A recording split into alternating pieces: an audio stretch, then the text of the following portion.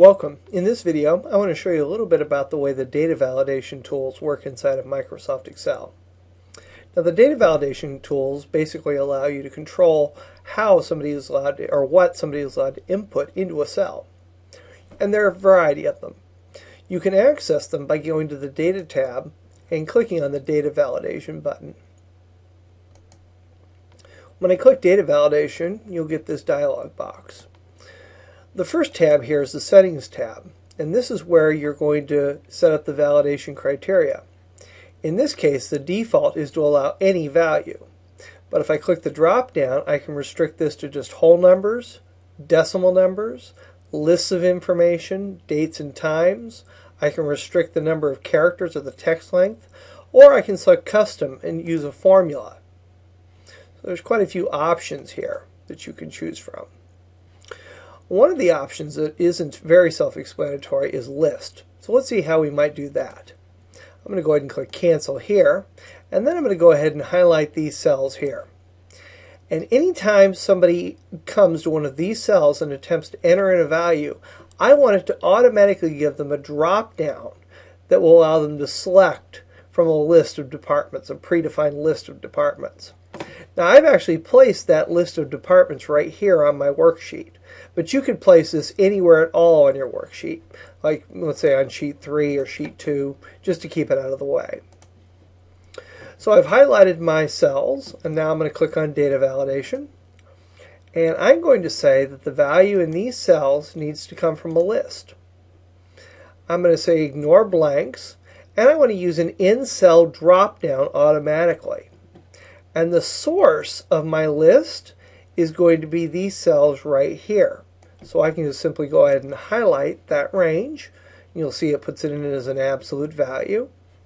And then simply click OK. And those data validation rules have now been applied to those cells. So when I come to cell C2, you'll see there's my drop down arrow for that cell. And when I click it, there are my choices. So I can select admin, just like that. Now let's go ahead and set up the data validation rules maybe for salary. Let's go ahead and highlight those cells again.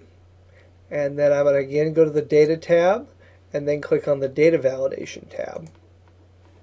In this case, I want this to allow a decimal number and I'm going to say that the number is going to be between two values.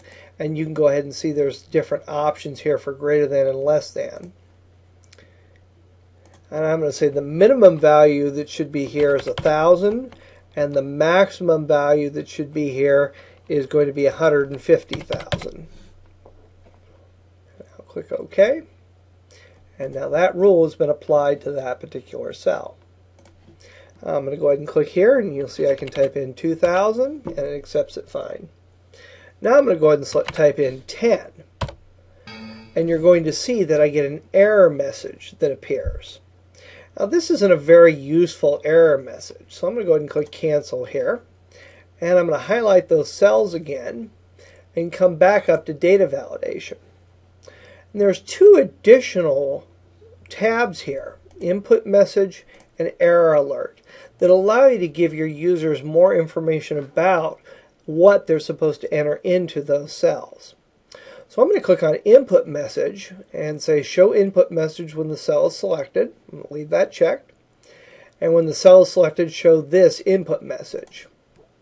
And I'm going to go ahead and type, just for our reference, um, this is the title. An input message, enter value between 1,000 and 150,000. And then I'm going to go ahead and click OK. I didn't do the error alert yet. We'll do that next. I'm going to go ahead and click OK there. And you'll see that whenever I enter one of those cells, I get this little yellow tooltip. Whatever I place where it says this is the title, that'll be the title for this box. And then under description, there's the message. And again, that'll come up every time I select one of the cells that has that rule. Now what I want to do is I want to customize that error message a little bit more. So I'm going to highlight those cells and go back to data validation. And then click on error alert. And the alert type, I want to use a stop. And I'm going to say incorrect value for the title. And then you must enter a value between 1,000 and 150,000.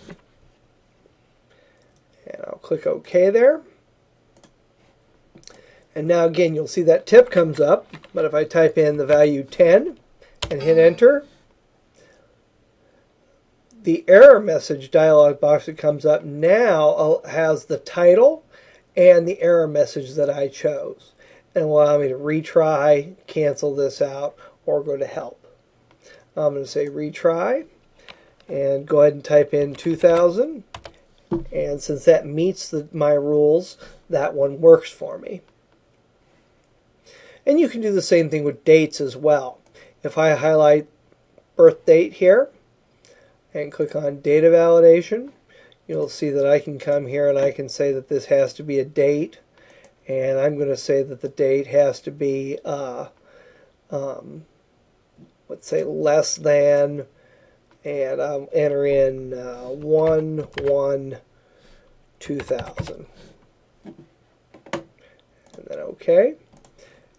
And if I try and type in 1 1 1999, you'll see it accepts that. But if I wanted to do 1 1 2001, it's going to give me that error message.